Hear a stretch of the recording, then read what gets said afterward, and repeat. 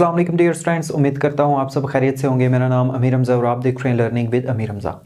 आज की वीडियो में असाइनमेंट के ऊपर कंप्लीट बात करूँगा और इस वीडियो को वर्चुअल के जितने भी स्टूडेंट्स देख रहे हैं कंप्लीट आप लोगों ने लाजमी देखना है।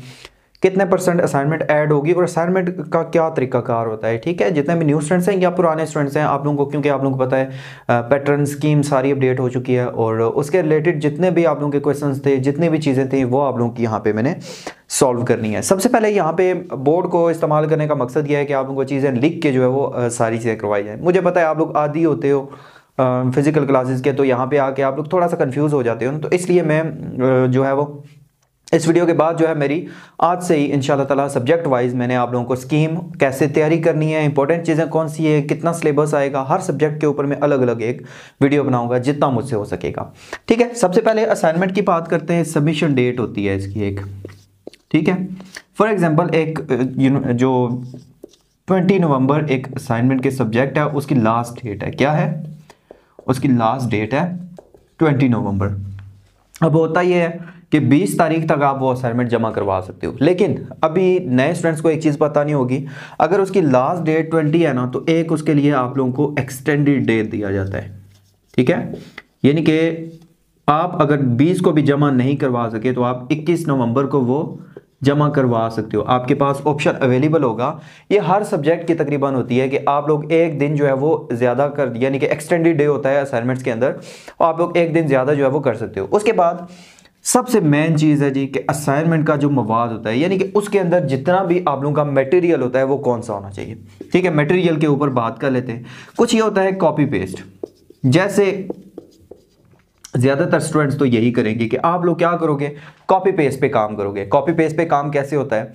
इसका मतलब ये होता है कि आप लोगों को किसी की फ़ाइल मिली है, आपने पूरी की पूरी वो फ़ाइल लिख दिया अब असाइनमेंट लिखने का तरीकाकार क्या होता है? सबसे पहले आप लोगों ने उस सब्जेक्ट का नाम लिखना है और जितनी असाइनमेंट नंबर आई हुई है वो लिखना है, ये टाइटल होता है, ठीक है? उसके बाद आपने यहाँ पे अपनी आईडी लिखनी है, उसके बाद आपने अपना नेम मेंशन करना है। ये तीन चीज़ें कंपलसरी हैं, आपने हर असाइनमेंट में देनी है, ठीक हो गया? उसके बाद आपने क्वेश्चन लिखना है आंसर उसका करना है। जितने भी उसके क्वेश्चन हैं, उसका आंसर अब एक चीज़ याद रखिएगा कि वो यूनिक होने चाहिए। आपको अगर किसी का सोल्यूशन मिला भी है तो उसको सिर्फ़ उससे आइडिया लें। ठीक है? या तो आप लोगों की कोई इंग्लिश में है या इंग्लिश में कोई पैराग्राफ है तो उसको आप प्लेजरिज्म रिमूवर बहुत सारी जो है वेबसाइट्स मिल जाती है वहाँ पे, उसको डाल के उसका प्लेजरिज्म रिमूव कर दिया करें, लाजमी। ये काम आप लोगों ने लाजमी करना है। दूसरा नंबर ये मैथ के कुछ जो असाइनमेंट्स होती हैं, उनमें क्या करना है? मैथ की अगर असाइनमेंट्स आ जाएँ तो उनमें आप लोगों ने एक काम लाजमी करना है। उनमें कुछ हर स्टेप के बाद इंग्लिश में put this into this कि इस स्टेप में क्या हुआ है, इस स्टेप में क्या हुआ है। इंग्लिश में थोड़े थोड़े लाइन लिख दिया करें, ताकि थोड़ा सा आप लोगों का आइडिया यूनिक हो जाए, आप लोगों की असाइनमेंट यूनिक हो जाए, ठीक है? किसी की असाइनमेंट पूरी की पूरी आप लोगों ने कॉपी नहीं करनी, उसमें कुछ ना कुछ आप लोगों ने चीज़ें ऐड करनी है, वरना आपको नंबर ज़ीरो मिलेंगे, ठीक है? अब जो है वो पासिंग क्राइटेरिया भी थोड़ा सा चेंज हो गया है। और ऐसे स्टूडेंट जो मिड टर्म नहीं देंगे, वो फाइनल टर्म भी नहीं दे सकते। रूल इस तरह से होता है कि मिड टर्म में कम अज़ कम ट्वेंटी परसेंट लेना ज़रूरी होता है। मिड टर्म और बाकी असाइनमेंट को जे डी के नंबर मिला के ना ट्वेंटी परसेंट मार्क्स लेना ज़रूरी होते हैं ताकि आप लोग फिर फाइनल टर्म के लिए एलिजिबल हो सको।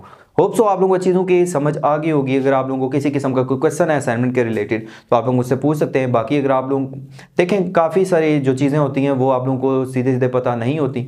तो इसीलिए मैं हर टॉपिक्स के ऊपर जो है वो अलग से वीडियो बना देता हूँ। होप सो आप लोगों को वीडियो अच्छी लगी होगी। वीडियो कैसी लगी है, ज़रूर बताइएगा। इन शाला मिलते हैं अपनी नेक्स्ट वीडियो में।